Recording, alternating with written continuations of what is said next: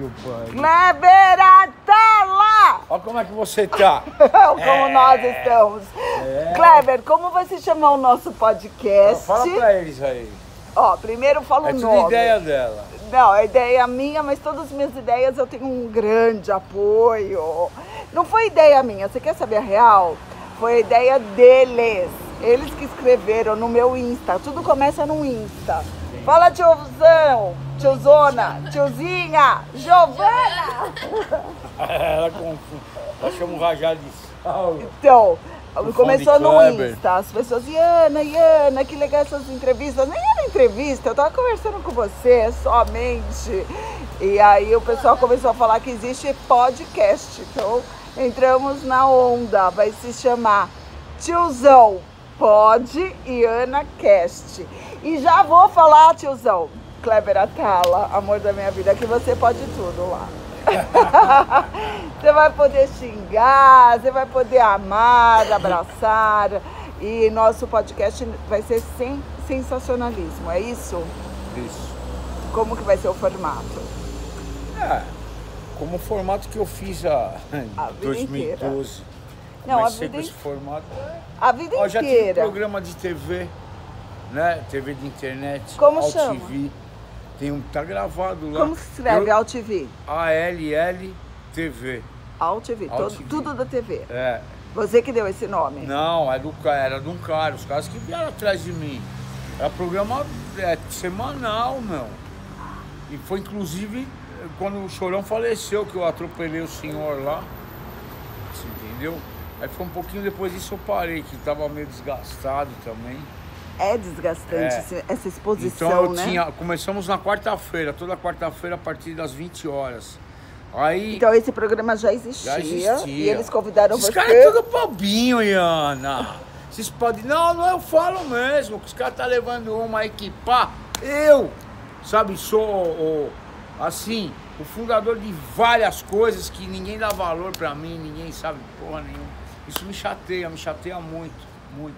Porque eu dou valor para as coisas que foram Os feitas outros. por mim, as outras pessoas. Pra mim ninguém dá valor, mas tudo certo. Ó, posso É, falar? Eu vou te pode. corrigir. Você tá se doendo por um ou outro. Eu vou te falar, eu entendo, porque se você entrar lá nos meus comentários, um entre tantos fala uma besteira. Isso dói mesmo. Mas você, de novo, assim como as pessoas você tá falando que não estão te dando valor, você tem que dar valor para a maioria. A Sim, maioria, valor. a maioria fala bem de você. Lógico. A maioria ama de paixão, levanta essa entendendo o bandeira. que eu tô falando? Eu entendo, Kleber, eu entendo. Tem uns. Mas é isso aí, vamos pra cima, vamos mais uma vez mostrar que a gente, né, é, tá sempre antenado nas coisas, estamos Nas mudanças, querendo, né? é, ajudar, queremos ser ajudados também, né? É uma troca total de, de tudo, né? De informações, de. Porque com esse tempo todo eu aprendi isso, que a gente tem um canal que você pode é, é, levar informações para as pessoas, mudar opiniões das pessoas, né?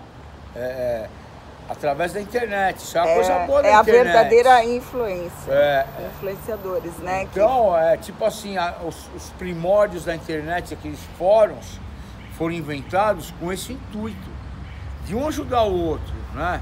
O cara tem um problema, ele põe lá nesse lugar aí, pô, tô com um problema assim assado. O cara que já teve esse problema, ele pode ajudar o cara, né? Dando uma solução para ele. Para rapidamente ser solucionado o problema, não precisa ficar batendo cabeça, sendo enganado pelos outros, né? Então, eu acho que é- isso é a essência. Isso foi o fórum, né? É, onde começou todo esse negócio de internet, assim, na minha humilde opinião, né? É verdade. E aí, na realidade, hoje, o formato é de entrevistas, porque está passando também experiências, mas experiências de vida, né? É, tá de vida pessoal, é, tá né? mostrando a vida das pessoas, tá expondo mais, né? É, é uma exposição, assim, muito grande, né? A pessoa tem que estar preparada também, né? Porque a pessoa chega lá pensa que vai... Os caras vêm pra cima, arregaça, vai lá, esmiuça a sua vida, assim, entendeu? É, fazem é, mensagens dúbias, né? De, de- de várias interpretações, é complicado. É verdade.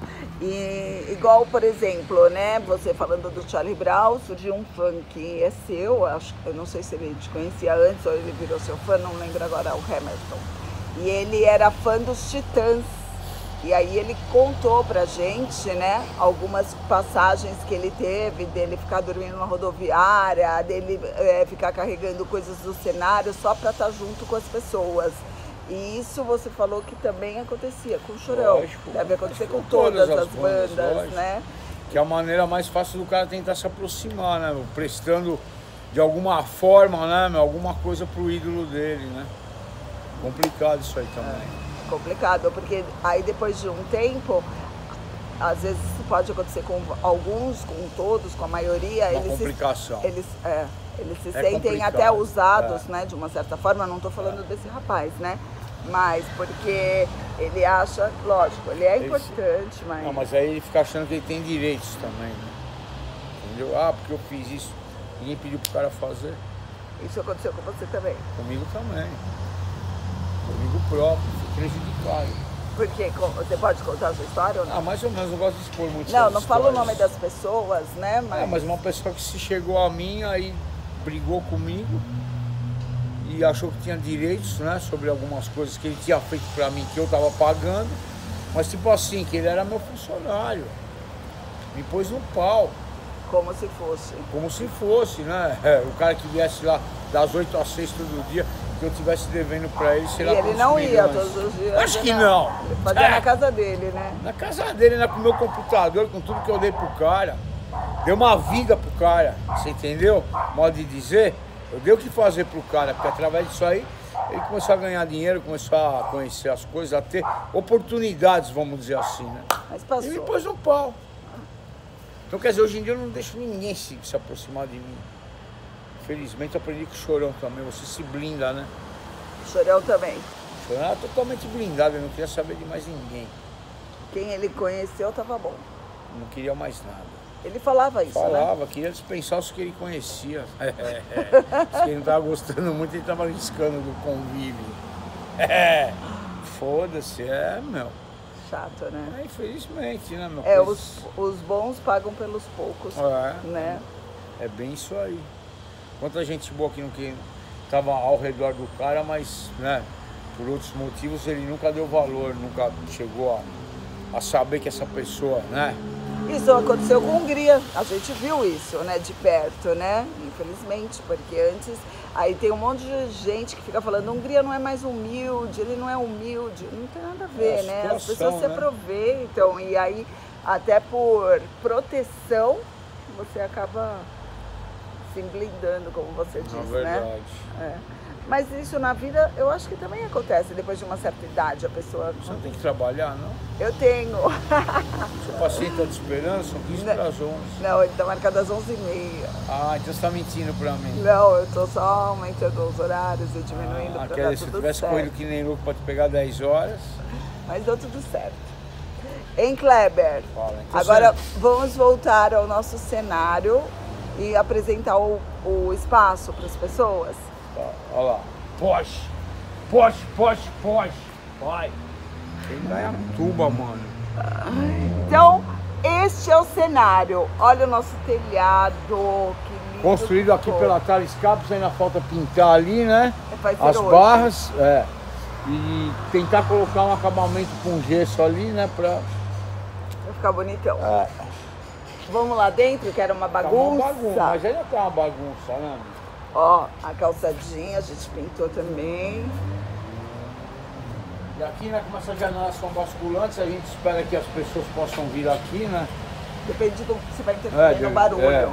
Né? E. Mas Cuidado. quando acabar a pandemia, né? É. Aí a gente pode é, trazer alguns convidados. É, mas na prática a doença tá, tá aí a toda, né?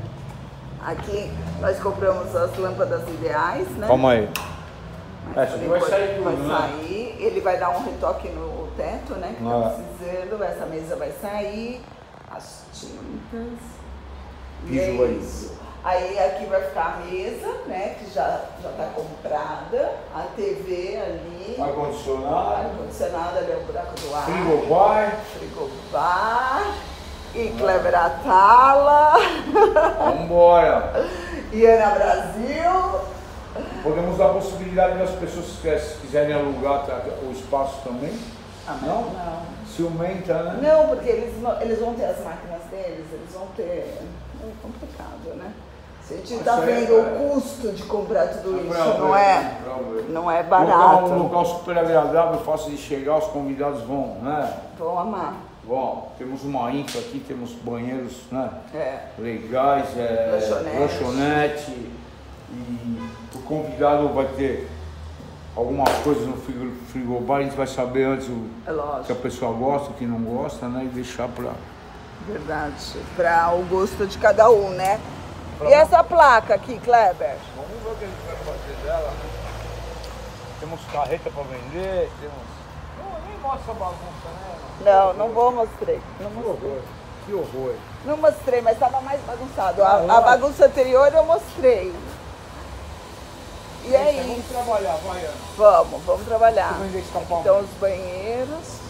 Tem uma moto aqui no banheiro, Kleber. Logo no feminino. Masculino e é isso.